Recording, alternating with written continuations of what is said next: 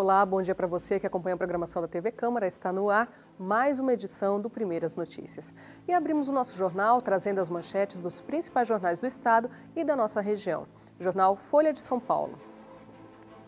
São Paulo tem indício de transmissão local da variante Delta. Homem infectado com cepa mais temida do coronavírus diz não ter viajado, o que indica contágio comunitário.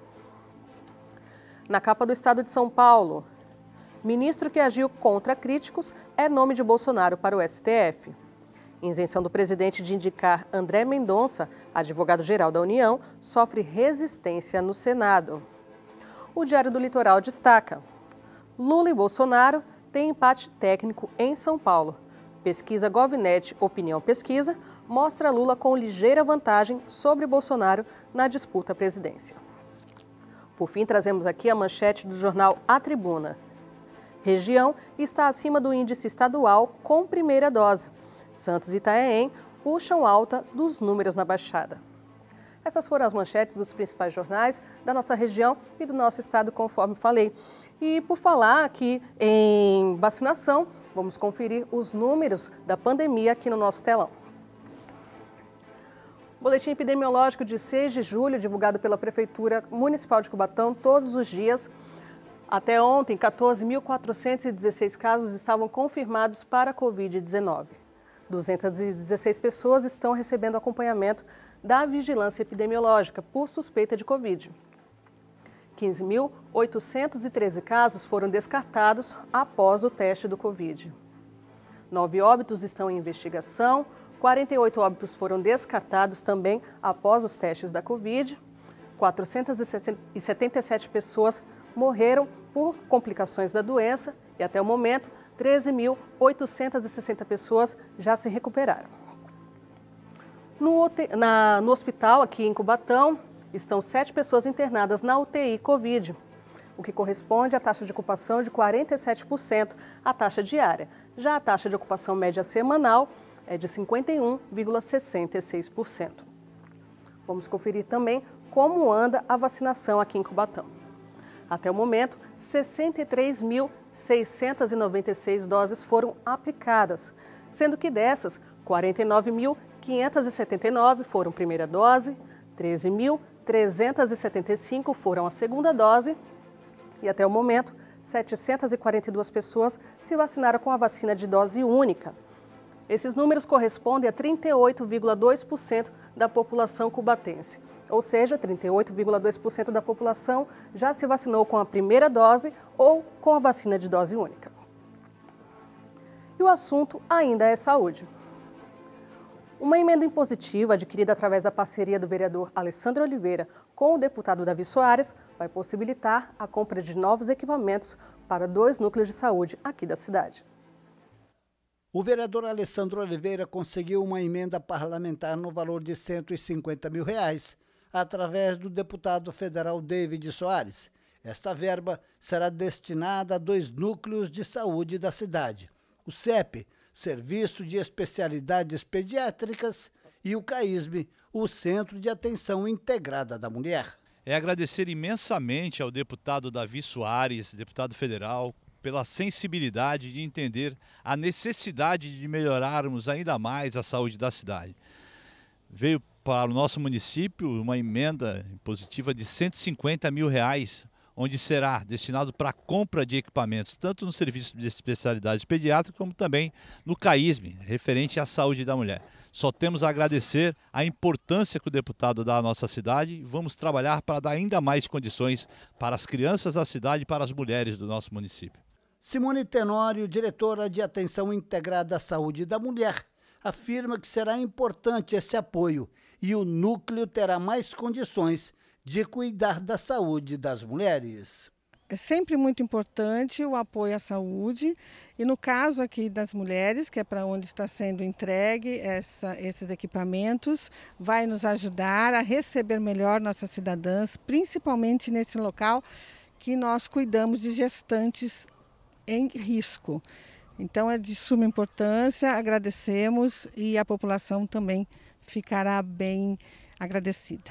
Melhor assistência às mulheres que procurarem o CAISB, como explica Ana Célia chefe de serviços. Essa verba é de suma importância porque vai garantir a aquisição de novos equipamentos para o nosso serviço, de forma que garanta uma melhor assistência ao nosso público. Muito bem. Agora são 11 horas e 42 minutos e nessa quarta-feira as temperaturas têm pouca variação e o tempo continua firme aqui na região. Confira os detalhes na nossa previsão do tempo.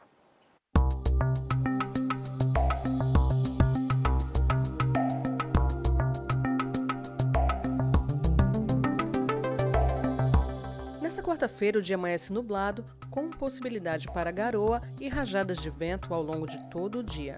À tarde, o sol deve aparecer com mais intensidade. A temperatura máxima prevista para hoje é de 23 graus. A umidade relativa do ar tem variação estimada entre 54% e 90% ao longo do dia.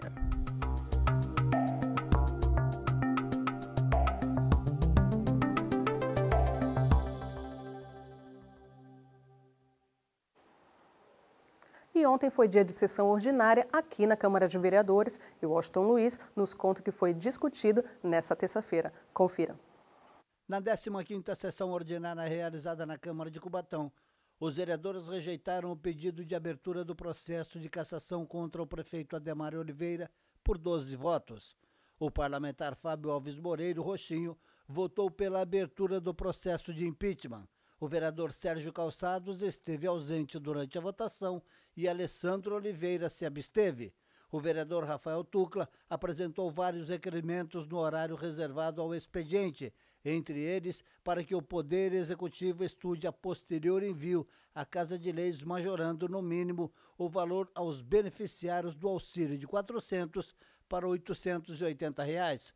Uma gratificação aos profissionais de saúde para incentivar ainda mais esses heróis, segundo ele, e também cursos periódicos de profissionalização aos profissionais de orientação nesses tempos de pandemia.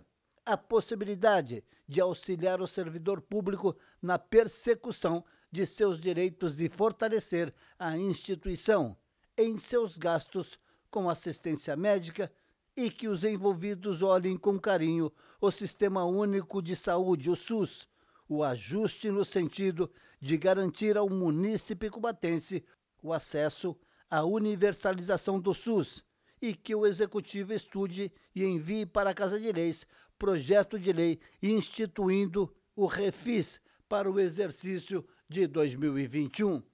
Devido à pandemia do coronavírus, o público presencial no plenário continua suspenso, como explica o presidente da Casa de Leis, o vereador Ricardo Oliveira Queixão.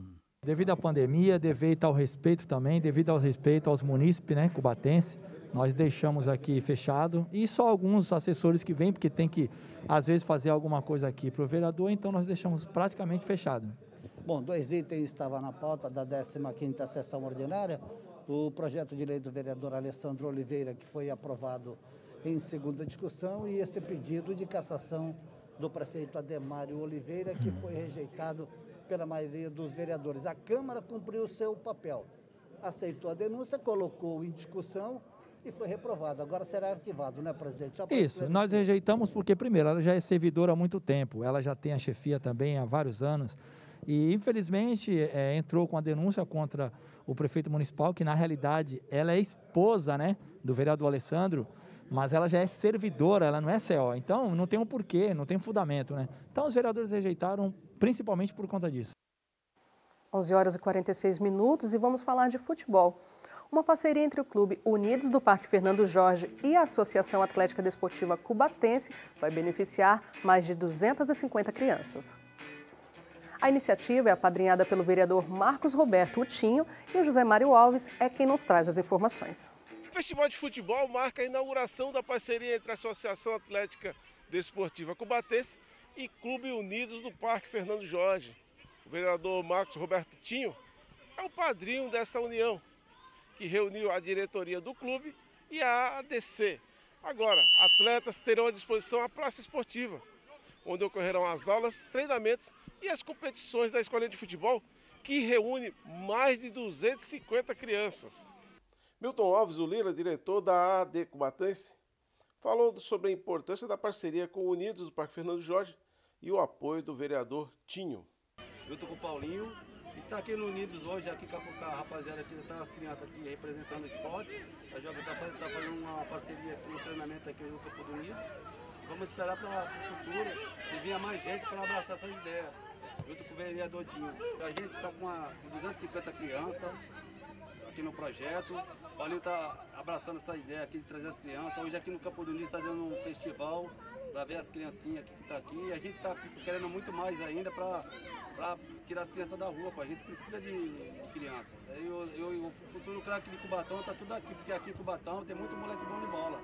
Jorge Correia Mendes, conhecido como Japão, que é diretor do Clube Unidos do Parque Fernando Jorge, falou sobre essa parceria que está sendo construída e que irá beneficiar muitos jovens, não só de Cubatão, mas de toda a Baixada Santista. Essa parceria vai ser muito importante, é, não só para o Unidos, né, mas como para a cidade de Cubatão, para o nosso bairro Jardim Costa e Silva, e principalmente também para a Baixada Santista, né, que a gente não pode deixar também de visualizar as outras cidades. Unidos vai ser em grande, grande importância, né, fazer essa parceria com a gente, que já está tá perto de, de finalizar, né, e, e só tem a agregar essa juventude, né? Que é da nossa cidade. Igual eu falei, pode vir de outras cidades também, que vai estar o espaço aberto. E o, o, o Clube Unidos do Parque Fernando Jorge sempre estará de porta aberta para o nosso vereador Tio. Domingos Alves da Conceição, que é morador do Jardim Costa Silva, falou sobre o ganho que essa parceria irá trazer, tanto para o Unidos do Parque Fernando Jorge, quanto para a Associação Atlética Desportiva Cubatense, e ainda com o apoio do vereador Tinho. Parceria com o vereador Tinho, dando esse espaço para a DC Cubatense, é a melhor coisa. E vai ser bom por isso porque vai ser uma área que vai ser sempre cuidada, porque não pode ficar a, as crianças numa, numa, área que não seja bem cuidada, ainda por cima é secada, né? Vão ser bem cuidados, vão ser bem protegidos, porque tem alguns campos na cidade que não tem nada disso. É aberto. Aí um, assim, a pessoa que, é, que usa droga está assistindo eles jogarem, entendeu? E um campo fechado para a juventude é muito bom. Isso daí é muito bom, muito bom mesmo, independente de, de qualquer coisa, o Unidos fez uma coisa boa e o Tinho também.